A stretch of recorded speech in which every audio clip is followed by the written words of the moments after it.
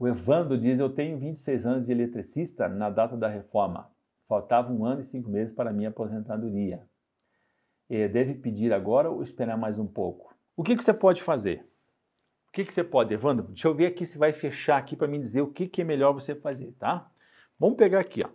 Se você tinha 26 anos de eletricista agora, eu vou tirar dois anos, então você vai para 24. 24 vezes 1.4. Você é eletricista, então se tu fazer a conversão, você vai para 33.6. Então você, na data da reforma, salvo se tiver alguma coisa errada, na data da reforma, você, você tem 33. Então você entraria na regra do pedágio de 50%, tá?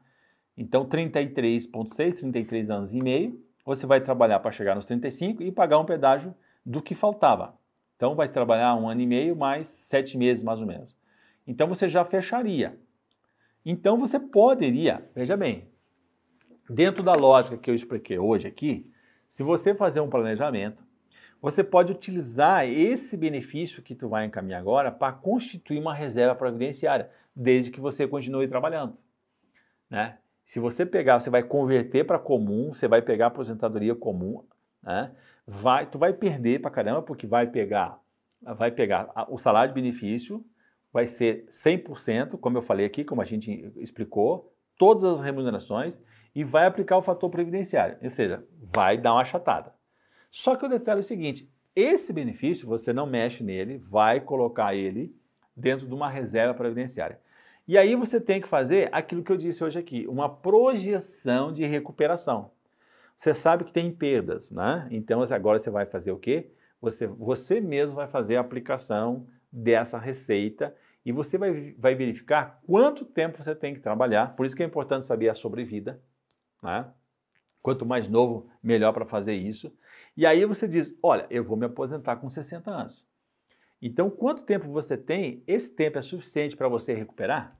Para você recuperar? Porque esse valor que você vai pegar, ele é pequeno, ele é menor. Só que ele vai criando um montinho, montinho, montinho, montinho, montinho, vai virar um montão. E esse montão vai ter um rendimento que ele vai voltar, ele vai, você vai ter uma, uma você vai recuperar a tua renda mensal inicial para muito próximo igual à sua remuneração. Esse é mais ou menos o desenho que tem que ser realizado. Esse é, é, é, é a, a, arquitetura, né?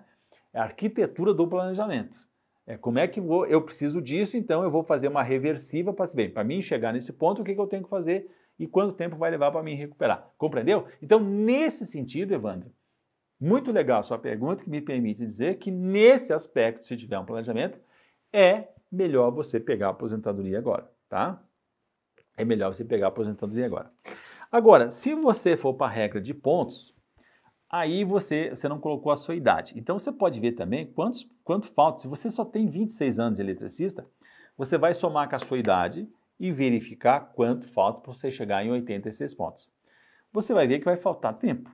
Né? Falta tempo para você chegar lá. Então, o que, que você prefere? Esperar até lá para ter essa, essa forma de cálculo que eu calculei agora aqui, aplicado na sua aposentadoria? Você já sabe que para ter 100% lá, você precisa ter 40 anos de contribuição.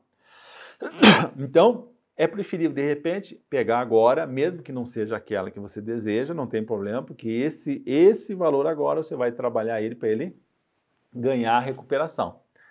Então, se tu imaginar 5 anos, são 60 meses. 60 meses que você receba esse valor, muito provavelmente vai ter uma reserva previdenciária que vai ter um rendimento muito legal, que talvez seja muito interessante. Agora, como é que eu tenho certeza disso? Eu não tenho. Eu tenho que fazer um planejamento, tenho que fazer cálculo. Por isso que eu convido você a se conectar comigo aqui, ó, nesse telefone aqui, ó.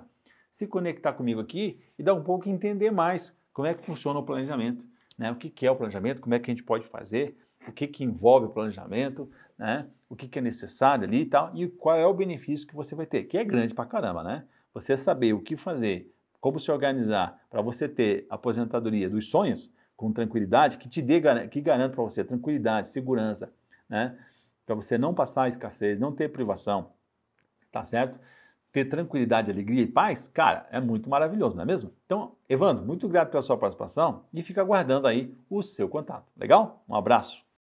Gostou desse conteúdo? Então não fique com ele. É muito importante você compartilhar e levar conhecimento para as pessoas. Então o que, é que eu peço? Para que você compartilhe, deixe um like, é muito importante você deixar o seu comentário colocando o seu nome e a sua cidade. Você ficou com dúvidas ainda? Sem problema nenhum. Você vai usar o link abaixo aqui e vai entrar em contato comigo e com a minha equipe através do link do atendimento digital.